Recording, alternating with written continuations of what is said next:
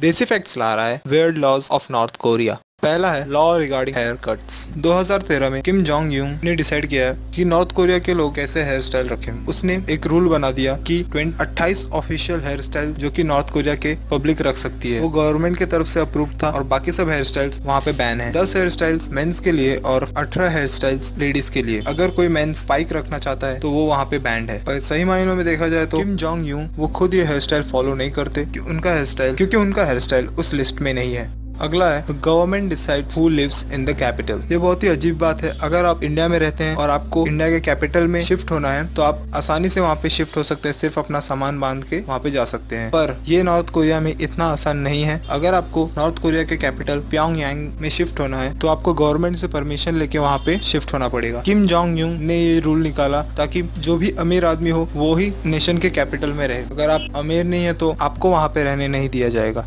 अगला है television channels. North Korea का ये बहुत ही अजीब कानून है कि वहाँ पे टेलीविज़न पे सिर्फ़ तीन चैनल्स दिखाई देंगे, जो कि गवर्नमेंट के कंट्रोल में रहेंगे। अगर आप कोई और चैनल देखना चाहें तो आप नहीं देख सकते। और अगर आप किसी और देश में रहेंगे तो आपको हज़ारों चैनल्स के ऑप्शन मिलेंगे। अगला है owning a Bible is illegal North Korea में बाइबल खरीदना बैंड है। अगर आप अपने पास बाइबल रखते हैं तो आपको अरेस्ट भी किया जा सकता है। वहाँ के गवर्नमेंट का ये मानना है ये बाइबल ये वेस्टर्न कल्चर का प्रतीक है। अगर वहाँ के लोग बाइबल अपनाते हैं तो उसी कल्चर में कन्वर्ट होना चाहेंगे। इसलिए वहाँ पे ये बैन है। एक बार किसी क्रिश्चियन महिला ने बाइबल बांट रही थी, उसे अरेस्ट करके एग्जीक्यूटेड कर दिया।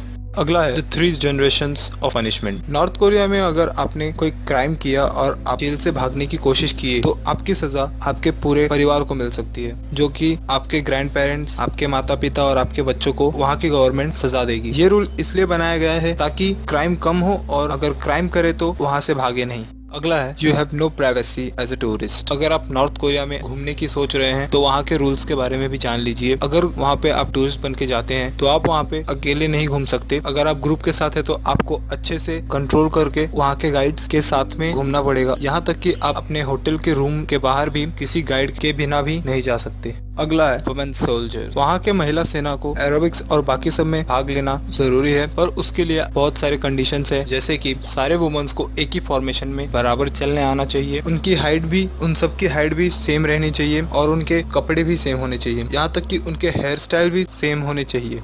अगला है driving is not allowed for most North Korea में खुद की कार लेना बहुत ही मुश्किल है। वो बहुत ही खास लोगों के लिए परमिशन है जो खुद की गाड़ी ले सकते हैं। वहाँ पे करीब एक हज़ार में से दस लोग ही सिर्फ़ कार ले सकते हैं। और अगर आप बाकी देशों में देखें तो कार्स की मात्रा हद से ज़्यादा है। Yeah.